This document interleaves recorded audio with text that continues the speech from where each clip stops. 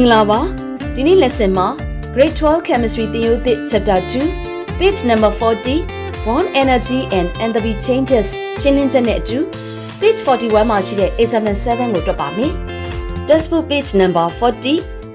2.3 hash law ရဲ့ခေါင်းစဉ်အောက်ကနံပါတ် A က enthalpy cycle ဖြစ်ပြီးတော့ဒီနေ့သင်မှာတော့နံပါတ် B bond energy and enthalpy changes ဓာတ်ဆီးစွမ်းအင်နဲ့ enthalpy ပြောင်းလဲခြင်းများဖြစ်တယ် and the changes are due to the breaking and forming of bonds. And the changes and the ပြောင်းလဲခြင်းတွေဟာ bond breaking bond ပြတ်တောက်ခြင်းနဲ့ forming of bonds bond တွေဖြစ်ပေါ်ခြင်းကြောင့်ဖြစ်တယ်။ Breaking a bond absorbs energy. Delta H is positive. And making a bond release energy. Delta H is negative. bond breaking နေဖြစ်တဲ့အခါမှာ energy ကို absorb စုပ်ယူပြီးတော့ဖြစ်တယ်အဲ့ဒီခါမှာ delta H တန်ဖိုးဟာ positive ဖြစ်ပြီးတော့ making a bond bond နေအသစ်ဖြစ်တဲ့အခါမှာ energy ကို release စွမ်းအင်ကိုထုတ်ပေးတယ်အဲ့ဒီခါမှာ delta H တန်ဖိုးဟာ negative ဖြစ်ပါမယ် the energy needed to make or break bonds is called bond energy or bond enthalpy energy needed to make ဆိုတာ bond နေဖြစ်ပေါ်ဖို့အတွက်စွမ်းအင်တွေလိုအပ်မယ်ဒါမှမဟုတ်ရင် bond နေ ပြတ်တောက်ဖို့ break ဖြစ်ဖို့အတွက်စွမ်းအင်တွေလိုအပ်မယ်အဲ့ဒီလိုအပ်တဲ့ energy ကို bond energy လို့ခေါ်တယ်နောက်တစ်မျိုးကတော့ bond enthalpy လို့ခေါ်ပါမယ် the higher the bond enthalpy the more energy needed to break the bond and the stronger is the bond bond တွေပိုပြီးအားကောင်းလေလေ bond ဖြတ်ဖို့အတွက် energy ပိုလိုအပ်ပြီးတော့ bond enthalpy တွေပိုပြီးတော့မြင့်လာလေလေဖြစ်ပါတယ် so ECH refers to the bond enthalpy of a mole of single bonds between carbon and hydrogen atoms. ဒါကြောင့် E carbon H သည် carbon နဲ့ hydrogen single bond ရဲ့1 mole ပမာဏအတွက်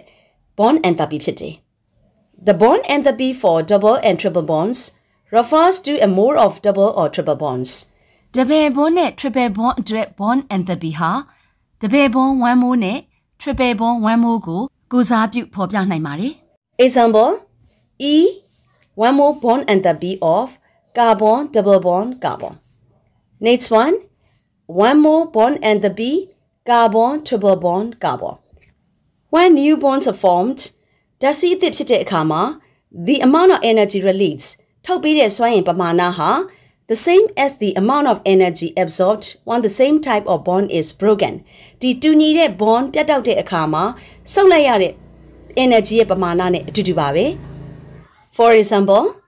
the bond enthalpies for the breaking and forming bonds of bromine molecules are plus 193 kJ per mole and minus 193 kJ per mole respectively Example bromine molecule ရဲ့ bond breaking နဲ့ bond forming တို့ရဲ့ bond enthalpy တန်ဖိုးဟာ plus 193 kJ per mole နဲ့ minus 193 kJ per mole အသီးသီးရှိကြတယ် BR2 ကနေ 2BR ဆိုပြီးတော့ဒီ BR နဲ့ BR ကြားမှာရှိတဲ့ bond ကလေးပြတ်တဲ့အခါမှာပြောင်းလဲသွားတဲ့ bond enthalpy ဟာ +193 kJ per mole ဖြစ်ပြီးတော့ဒီ 2BR ဆိုတဲ့ atom နှလုံးဟာ BR2 ဆိုတဲ့ molecule ဖြစ်ပြီးတော့ bond တွေဖြစ်ပေါ်တဲ့အခါမှာရရှိလာတဲ့ bond enthalpy ဟာ -193 kJ per mole ဆိုတော့ bond ပုံစံတူရင် bond enthalpy တူပါတယ် Hess law can also be used to find approximate values of enthalpy change of a reaction using bond enthalpies. Hess law ကို bond enthalpy သုံးပြီးတော့ဓာတ်ပြုခြင်းတွေရဲ့ခံမှန်း enthalpy ပြောင်းလဲခြင်းတွေကိုရှာတဲ့အခါမှာသုံးနိုင်ပါတယ်။ The bond enthalpy can be used to calculate the enthalpy change of a reaction that cannot be measured directly.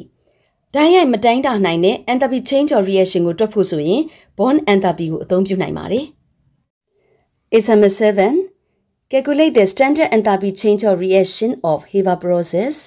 by using the Hess cycle from the data given below အောက်မှာပေးထားတဲ့ bond enthalpy data တွေကိုသုံးပြီးတော့ N2 gas plus H2 gas forming 2NH3 gas ရတဲ့ဒီ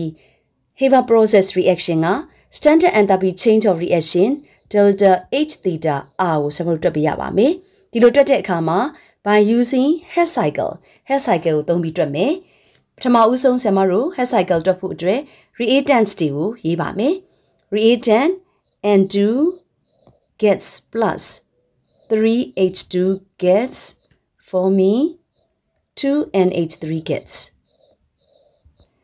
ဒါကပထမဦးဆုံး reactant ကနေ product ကို direct သွားတဲ့ reaction နောက်တစ်ခုကဒီ N2 gas ဆိုတာ N2 molecule hydrogen gas hydrogen molecule ကနေ reaction ဖြစ်ပြီးတော့ nitrogen atoms တွေနဲ့ hydrogen atom တွေဖြစ် bond ပြတ်သွားတယ် bond breaking ဖြစ်တယ်ဒီလိုဖြစ်တဲ့အခါမှာ nitrogen molecule ကနေ2 nitrogen atom အဖြစ်ပြောင်းသွားမယ်နောက်တစ်ခါ hydrogen molecule ကလည်း hydrogen atoms 6ခုအဖြစ်ပြောင်းသွားမယ်ဒါဟာကြားရအဆင့်သို့မဟုတ် intermediate state ပုံစံမျိုးပါဒါဆိုရင်ဒီ N2 gas နဲ့ H2 gas ကနေဒီ atom တွေအဖြစ်ကိုအရင်ကွဲသွားမယ်ပြီးတော့မှဒီ atom တွေအချင်းချင်းပြန်ပေါင်းပြီးတော့ ammonia gas ပြန်ရမယ်အဲ့တော့ cycle ရသွားပြီဆရာမဒီ elements တွေကိုကျွန်မပေါင်းလေးဒီလိုခတ်ပါမယ်ဒါကိုလည်းဒီလိုလေးပေါင်းလေးခတ်မယ်ဒါလေးကိုလည်းဒီလိုခတ်မယ်အဲ့တော့ပေါင်းလေးခတ်ပြီးပြီဆိုရင်တော့ဆရာမတို့ delta H ရေးမယ်ပထမဦးဆုံး N2 gas နဲ့ H2 gas ကနေအမိုနီးယားဓာတ်ရိုက်ရတာဟာ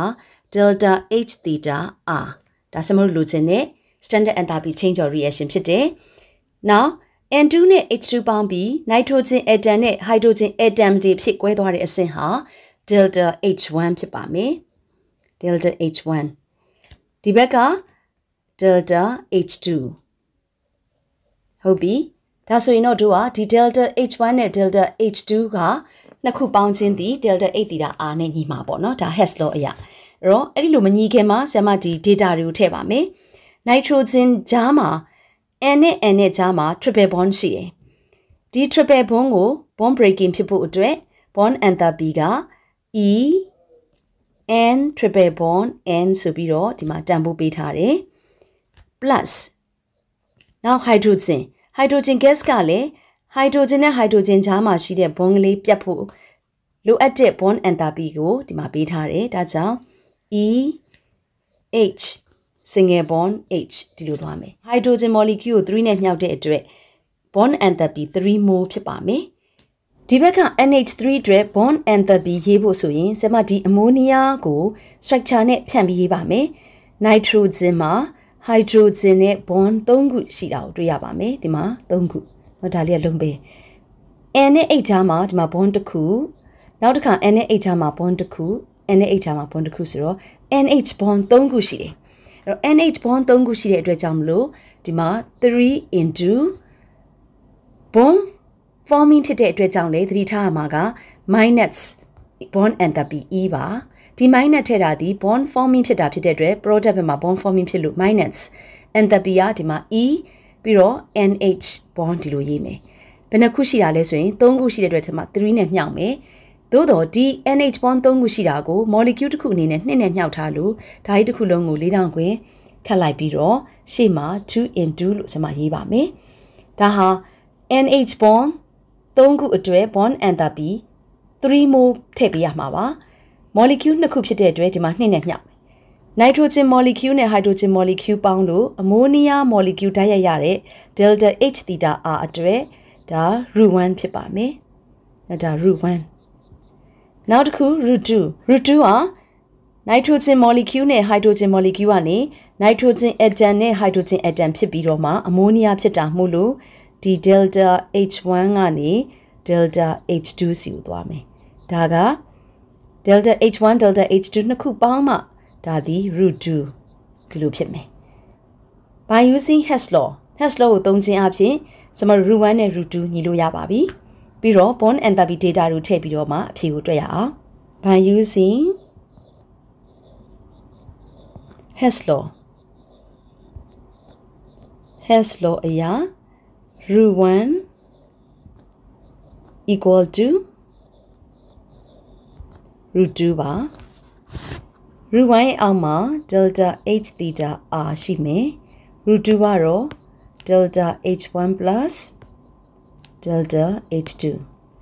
ဒီတော့ delta h1 ကိုထည့်တဲ့အခါမှာစမတို့စာလေးအရင်ရေးပါမယ် enthalpy change for အောက်ကိုရေးလိုက်မယ်မဆက်ပါစုလို့ bonds broken bonds broken ဆိုရင် bond enthalpy တန်ဖိုးဟာ positive ဖြစ်ပြီးတော့ plus enthalpy change for bonds formed bonds တွေဖြစ်ပေါ်ခြင်းအတွက် bond enthalpy ဟာ negative sign ဖြစ်ပါမယ်ဒါကြောင့် data တွေထည့်တဲ့အခါမှာ bond breaking အတွက် positive bond forms အတွက်ဘာဖြစ်လဲ negative ဖြစ်မယ် equal to delta H1 အတွက် bond enthalpy nitrogen molecule ကနေ nitrogen atom တွေဖြစ်ဖို့အတွက်လိုအပ်တဲ့ bond enthalpy ကိုရေးပါမယ် plus နောက်တစ်ခု delta H1 မှာ hydrogen bond ပြတ်မယ် hydrogen molecule 3ခုရှိတဲ့အတွက်3နဲ့အရင်မြှောက်လိုက်မယ်ပြီးတော့ bond enthalpy မှာတော့ hydrogen molecule မှာ H နဲ့ H single bond တစ်ခုပဲရှိတဲ့အတွက်ကြောင့်ဒီလိုလေးရေးမယ် plus enthalpy chain for bonds form ရေးတဲ့အခါမှာသတိထားမှာကစမတို့စောစောကဆမဆွဲပြတာလေးကိုကြည့်လိုက်မယ်ဆိုရင် nitrogen နဲ့ hydrogen nitrogen နဲ့ hydrogen nitrogen နဲ့ hydrogen bond 3ခုရှိတယ်